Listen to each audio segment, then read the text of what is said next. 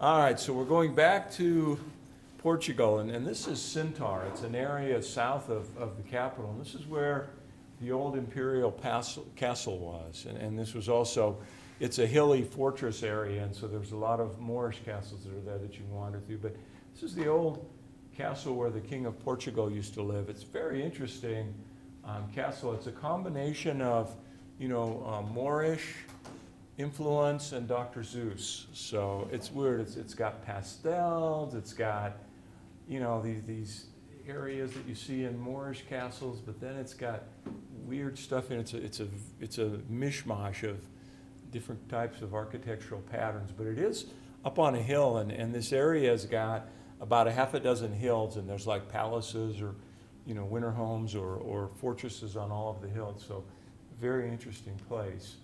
And you can see it is very much on a, on a hillside. And so um, you have to go with these um, special buses or you can hike it if you'd like. But again, um, pastel colors, very weird pastel colors, domes, kind of almost minarets as you're looking here. So very much a, a mishmash of conditions. And then again here, you've got kind of a coat of arms, but again, you've got this pattern. It almost looks like um, kind of the, the stuff that Gaudí did in, um, in Barcelona.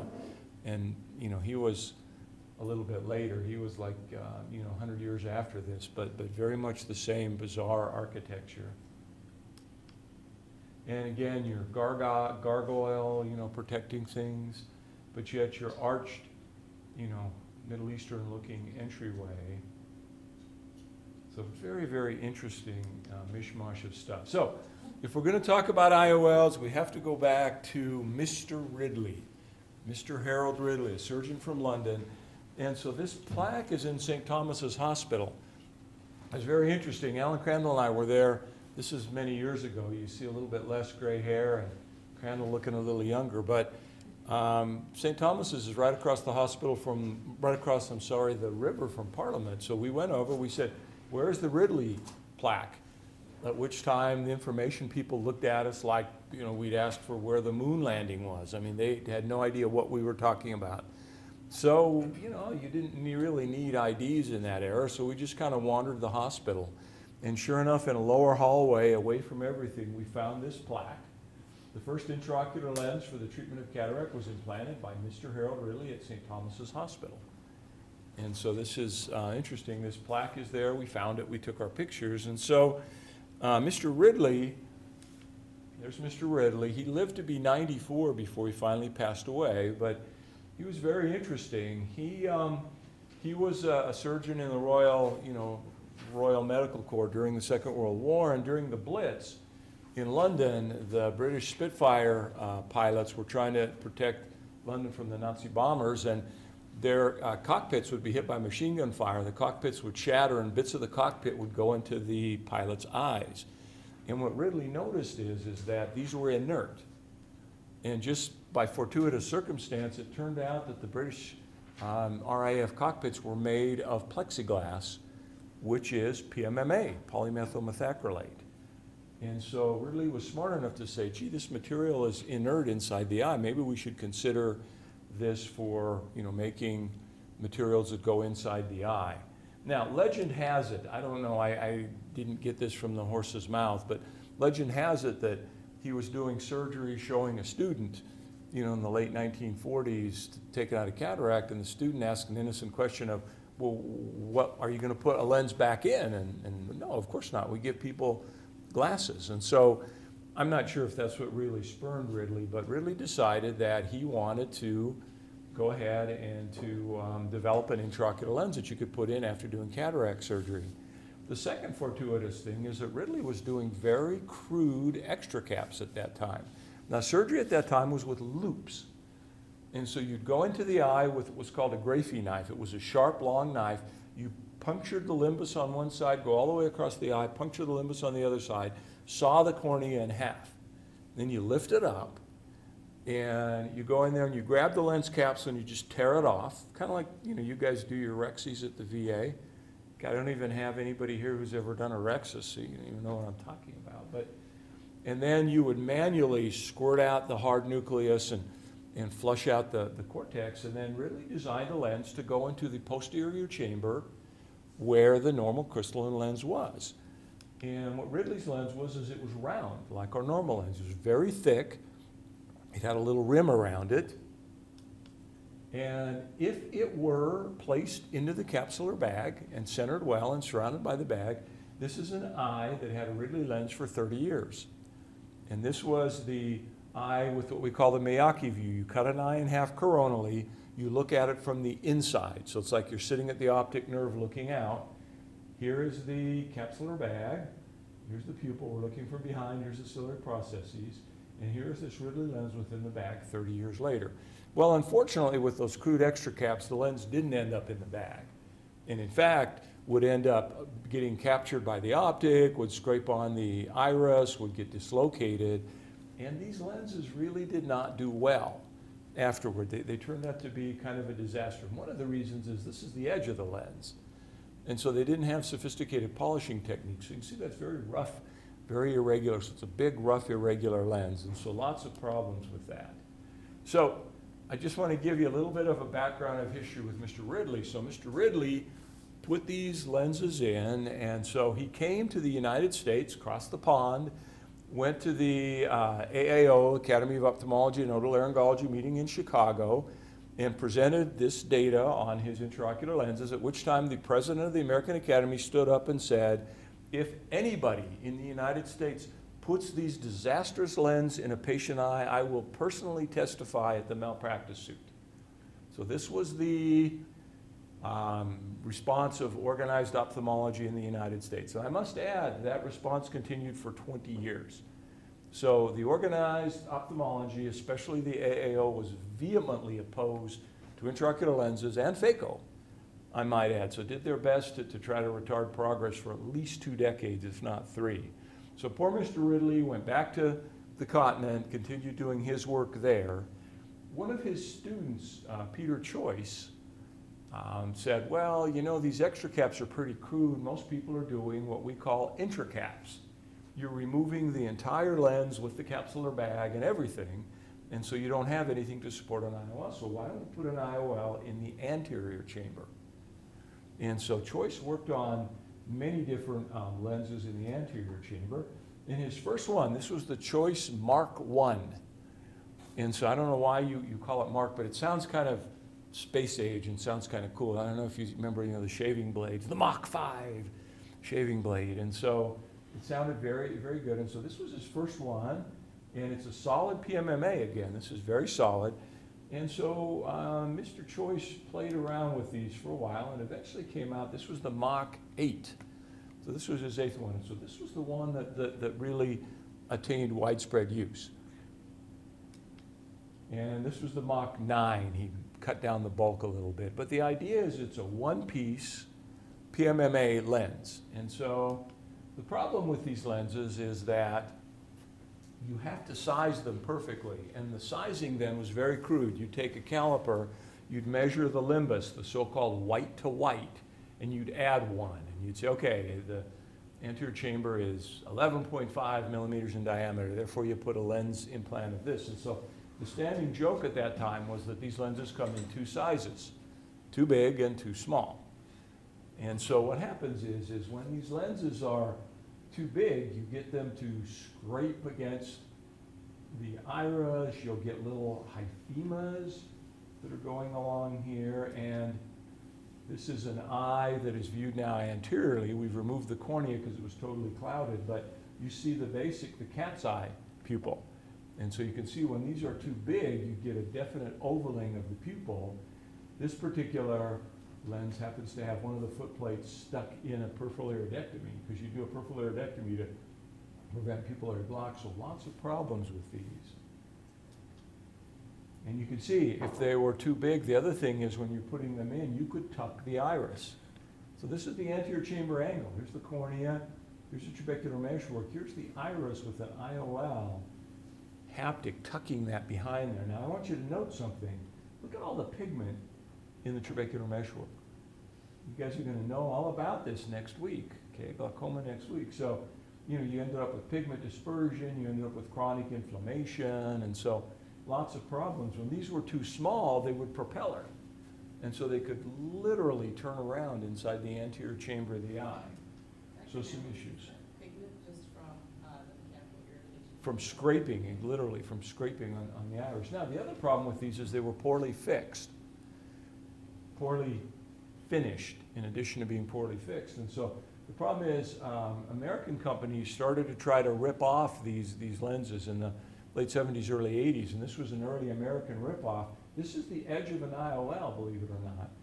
So I wish I still had this picture. When I was a, a fellow with Dave Apple, we took a Coke bottle and broke it and did EM of the edge, and the edge was, was you know, no, no, you know, worse than that. So, I mean, you can imagine what this is going to do inside the eye.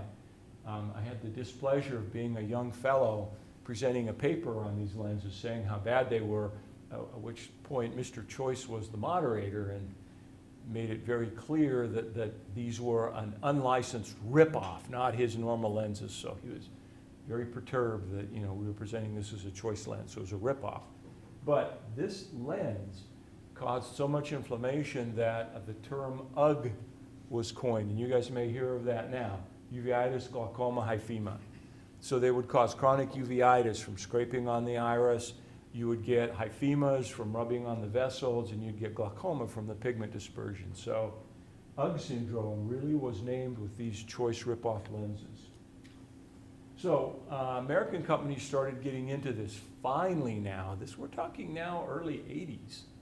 And so this is a long time from 1949, 1950, but American companies started to say, okay, these IOLs are going to be something we better start making. So they started making what we call open loop IOLs. And by open, it means that the, the optic is still PMMA, polymethyl methacrylate, but the loops are made of polypropylene, Prolene.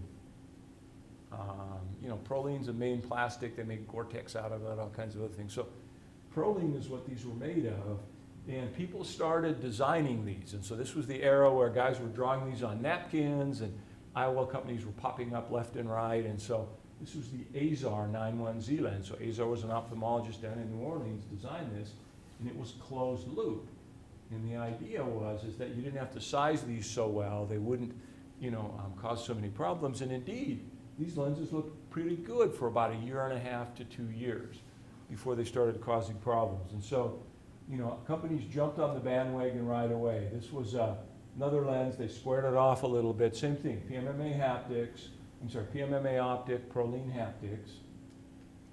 And you can see various different kinds, but they're all the same idea. They're all closed loop lenses. Now this was an interesting one. This was called the Stableflex.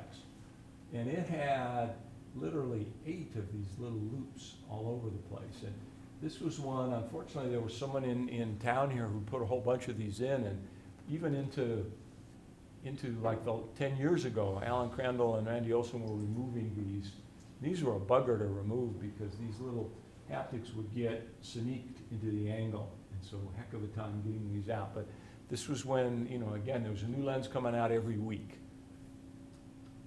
Now, what happens with these lenses? It turns out that these closed loop lenses if you put pressure on them, if you squeeze them, the, the closed loops would not take that squeezing and so they'd vault the optic forward.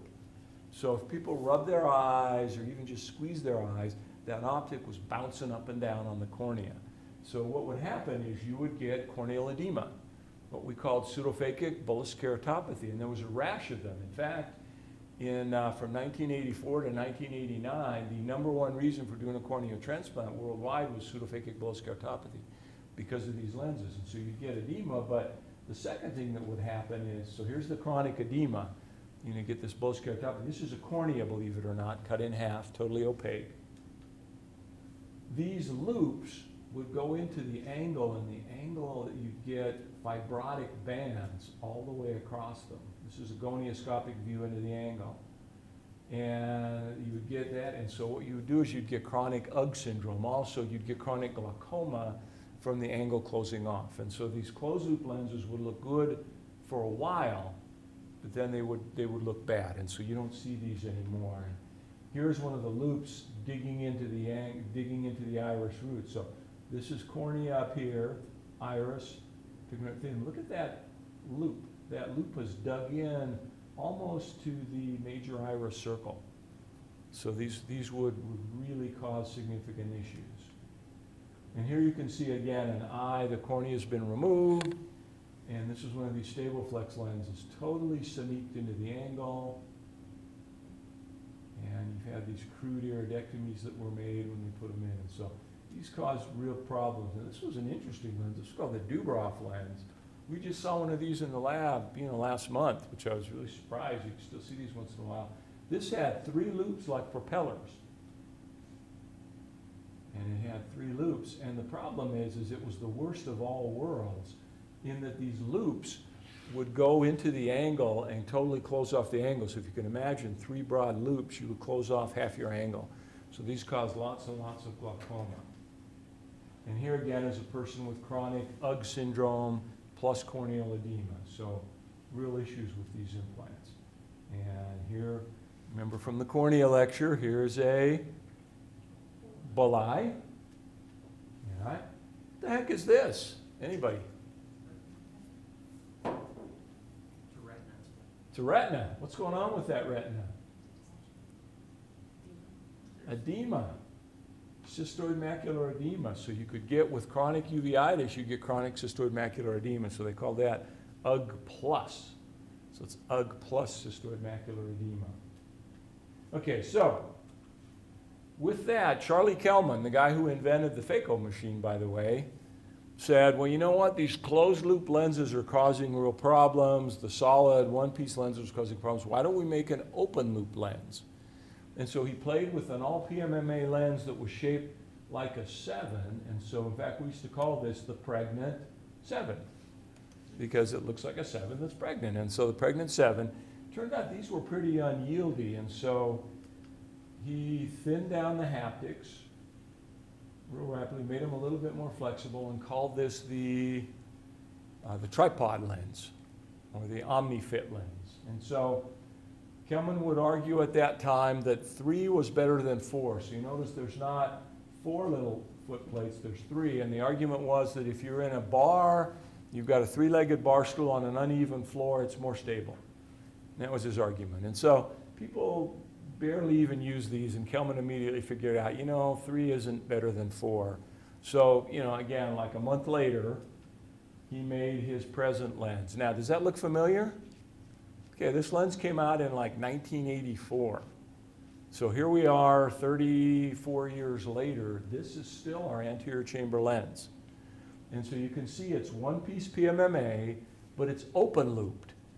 And so the idea is if you squeeze that, you know, rub the eye, squeeze the eye, instead of vaulting that optic up and down, the haptics would take the squeezing. So almost like the leaf springs on a big truck.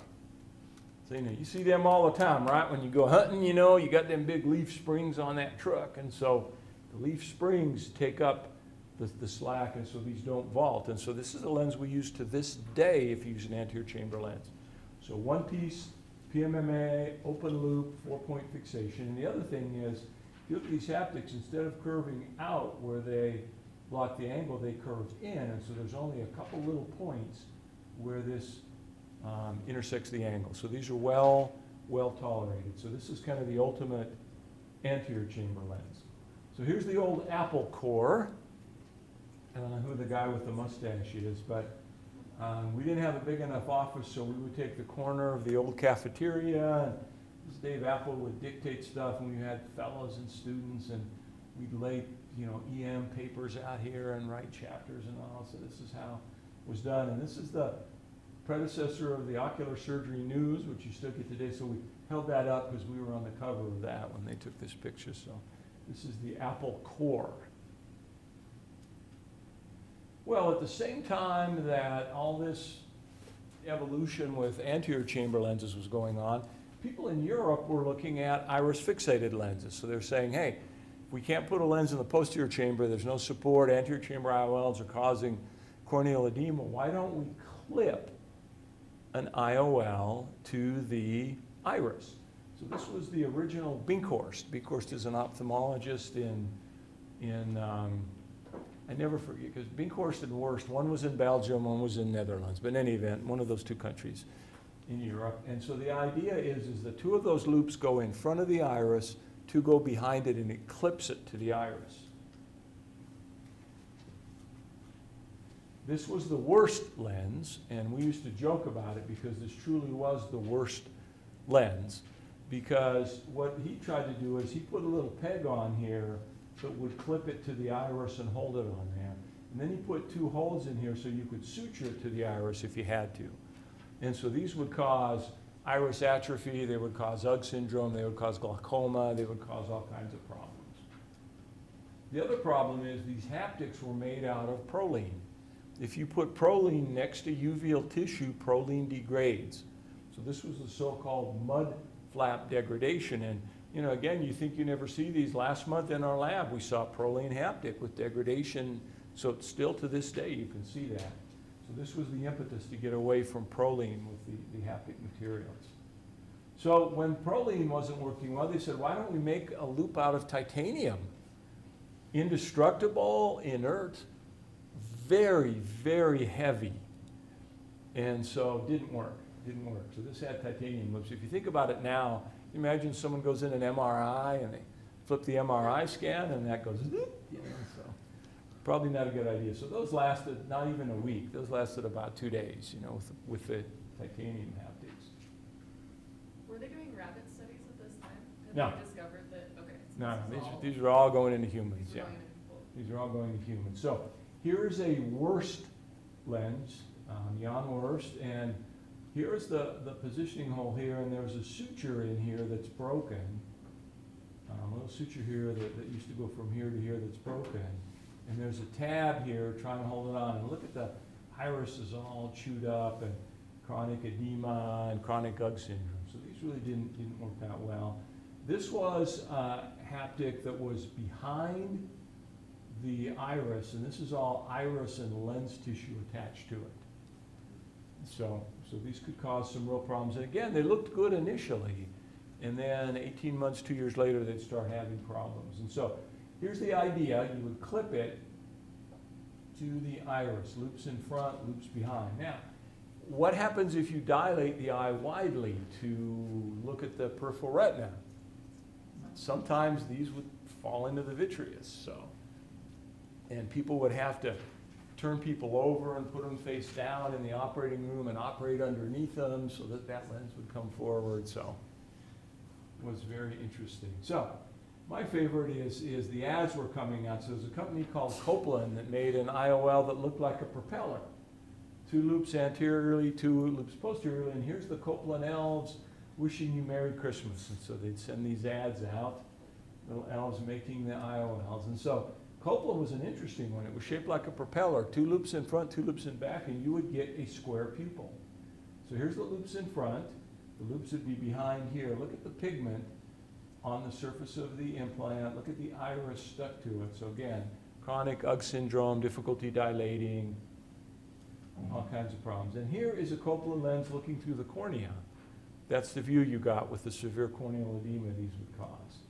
So my favorite is, at this point, you know, a lot of companies were advertising, this lens is proven safe and effective, you know, discontinued.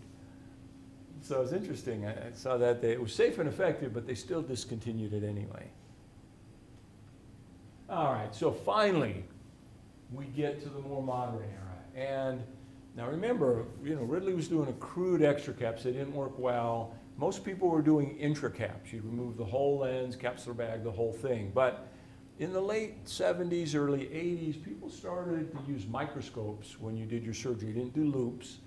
And they started to think, gee, maybe we could try to, you know, preserve that capsular bag. Started going back to doing extracapsular surgery. So Steve Shearing, who was an ophthalmologist in Las, Las Vegas, said, well, if we're going to put in a posterior chamber lens, why don't we put a little haptic like a J on there to support it in the back? So this was the first posterior chamber lens. So people looked at that and they said, wow, that's a great idea, but that J was very stiff and came straight out. It tended to ovalize the capsule. So immediately people started looking at different ways to do this. So a guy named Simcoe put a broad C-loop on this implant. And then Bob Sinskey put a modified J loop. He moved that loop over and he made it a little bit less severe. And so this was the kind of standard lens that we used for a decade.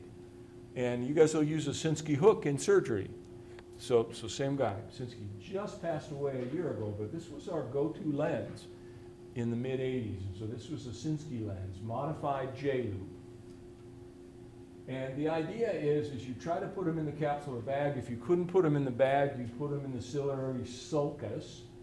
Again, we still do that if our bag is not intact. But the bag is better than the sulcus. You still get scraping of the iris. You still get other problems. So put it in the bag if you can, rather than in the sulcus. And here's what happens if you put an IOL in the sulcus.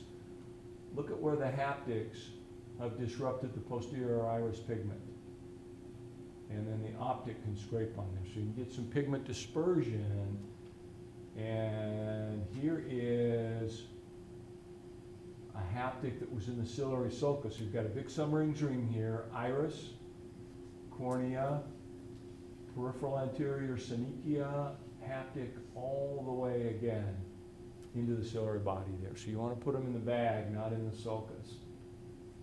And finally, here is a Miyake view of a modified J-loop IOL in the bag, quiet eye, tolerated for 30 years, doing well, and that's where we want to, want to put them. So here you can see the haptic surrounded by the capsular bag, away from the pigment, not digging into the iris, not causing disruption. And so we finally started putting implants within the capsular bag. So as implants got better, as we started putting them into the capsular bag, the companies got better at polishing them.